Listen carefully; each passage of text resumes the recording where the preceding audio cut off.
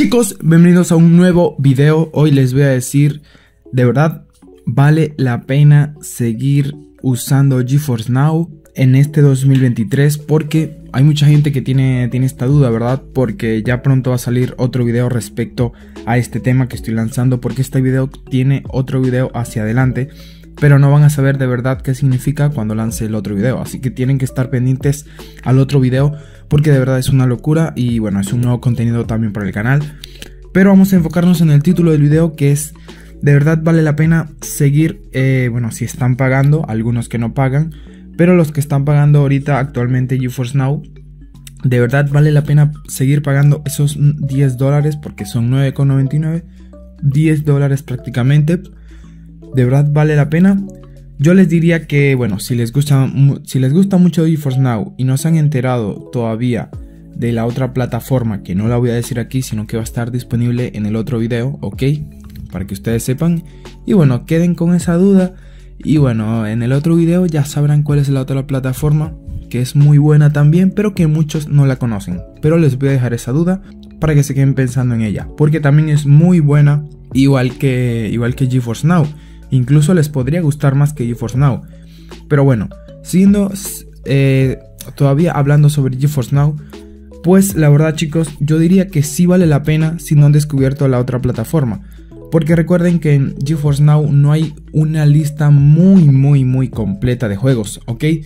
Faltan muchos juegos, en este caso el más jugado que ahorita en estos tiempos veo que lo están jugando mucho, que sería GTA V, no está disponible todavía en GeForce Now. Y así, por ejemplo, muchos más juegos, ¿ok?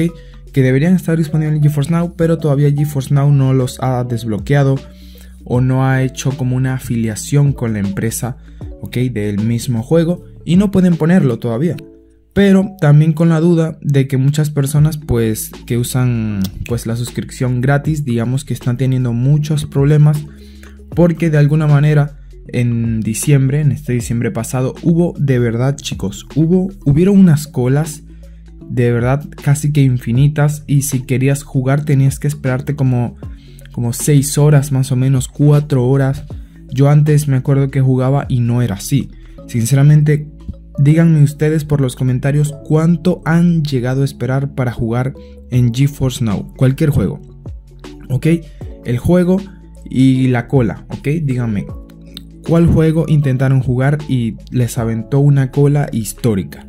Díganme por los comentarios. En mi caso fue Fortnite, ¿ok?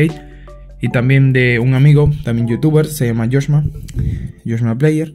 Para los que lo conocen, pues es muy, digamos que es muy... Eh, hay una historia con él en el canal. Pero hablando sobre él, digamos que él juega en GeForce Now. Y de verdad le tira unas colas de años prácticamente. O sea, de historia, de historia, unas colas ahí que tú decías, Dios, esta cola nunca va a terminar. Pero bueno, yo les diría que sí vale la pena si están comprando la suscripción. Porque de verdad chicos, si no compras eh, como que la suscripción en algún lugar, como GeForce Now, o por lo menos ya Vortex cerró, sinceramente, cerró porque no era una plataforma muy buena, salió GeForce Now y mató a la empresa. No de la manera pues literal, pero o sea, así lo entendí yo porque sinceramente antes lo que usábamos más era Vortex, pero únicamente Vortex era de pago.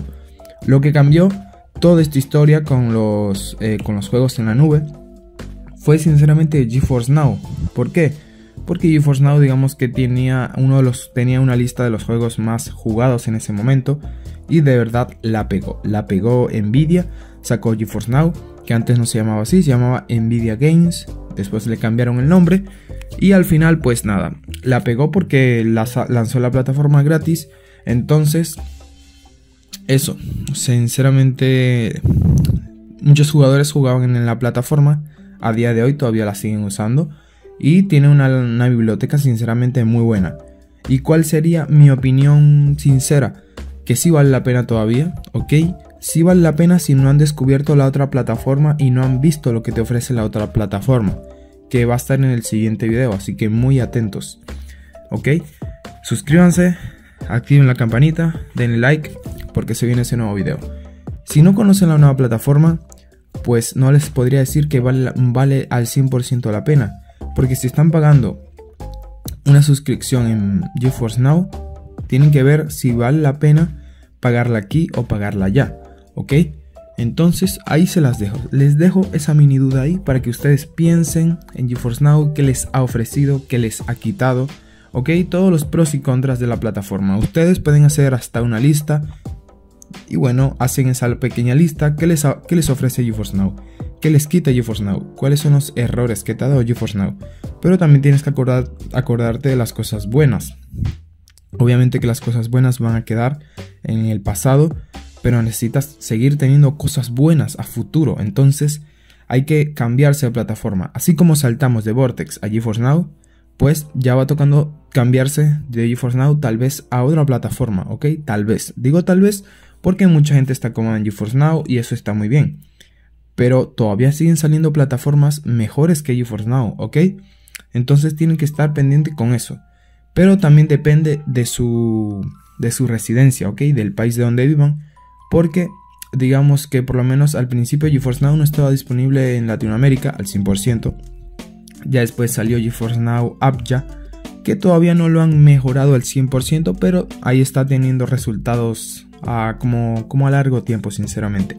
Pero bueno, mi respuesta definitiva, que si vale la pena o no, si vale la pena si sabes de otras, de otras plataformas, ¿ok? Vale la pena mientras tú sepas cuál plataforma te conviene más gastar tu dinero y jugar, ¿ok? Ese es mi veredicto en este 2023 sobre, sobre GeForce Now, sinceramente. Y bueno, yo les voy a decir y les voy a aclarar esa duda que les dejé, así que muy pendientes, suscríbanse y hasta el próximo video, chicos. Nos vemos.